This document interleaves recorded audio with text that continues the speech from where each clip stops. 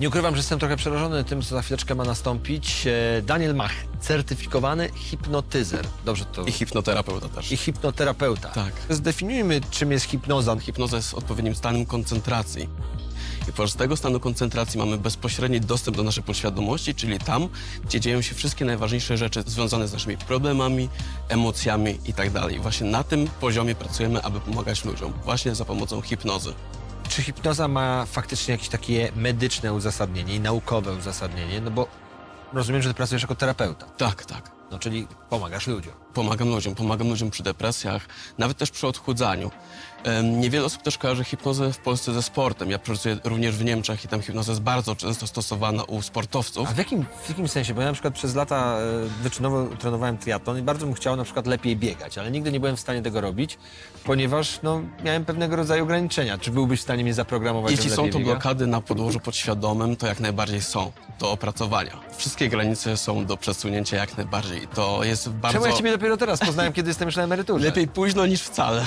Teraz gram w tenisa i przegrywam zawsze, jak mam, gram na przewagi. A ile chcesz teraz wygrać? Chcę po prostu wygrać. Chcesz wygrać? To się do mnie zgłosi. Nie, mentalnie, mentalnie. Tak, tak, o, o tak. takich problemach mentalnych. Bo ja, czy to jest tylko i wyłącznie pomoc e, na mm, płaszczyźnie mentalnej, czy hipnoza też może w jakiś sposób na fizyczne nasze dolegliwości Mm. zadziałać? Nasze myśli oddziałują na nasze ciało, co również później pokażemy na twoim przykładzie, co będzie. Już jestem jeszcze bardziej przerażony. Dokładnie.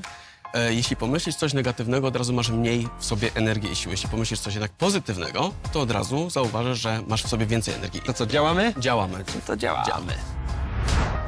Na spokojnie nabierz głęboki wydech nosem i wydech ustami. Spokojny wydech nosem i wydech ustami. I teraz zacznij zauważać, jak mięśnie, które dotykam, zaczynają stawać się bardziej twarde, stopniowo. Wszystko zaczyna stawać się nieco twarde. Wyobrażaj sobie, że wlewam w głąb twojego wnętrza beton, który bardzo szybko zasycha i całe ciało zaczyna stawać się coraz bardziej sztywne i koncentruj się cały czas na tym, jak twoje ciało może być jak ze stali. Może być jeszcze bardziej tutaj sztywne, mocne, twarde. Bardzo dobrze. Otwórz oczy.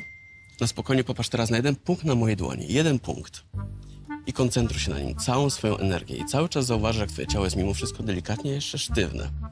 Teraz koncentruj się na tym, jak pewna siła ciągnie ci do tyłu. Ty i tak będziesz łapany na spokojnie. Pewna siła ciągnie ci do tyłu. Patrz cały czas na ten punkt. Jeszcze bardziej, bardziej. Jeszcze zamknij oczy. I na spokojnie, na spokojnie śpi. Całe ciało sztywne, jeszcze bardziej i bardziej. Bardzo dobrze. Cały sztywny, jeszcze bardziej intensywniej, jeszcze bardziej intensywniej. Z każdym moim słowem, z każdym dźwiękiem, który słyszysz. Super. O to właśnie chodzi. Zauważasz całą sztywność ciała, jeszcze bardziej intensywnie i każdy wydech, który robisz, powoduje, że całe ciało jest jeszcze bardziej sztywne. Bardzo dobrze, jeszcze bardziej intensywniej, z każdym moim słowem, z każdym dźwiękiem, jeszcze bardziej i intensywniej. Doskonale. I teraz na spokojnie otwórz oczy. I witaj z powrotem i wszystko się relaksuje i rozluźnia na spokojnie. I Jak? Zrelaksowany czy bardziej spięty? Ciężko powiedzieć, nie? Ciężko powiedzieć. Dokładnie. Dziwne.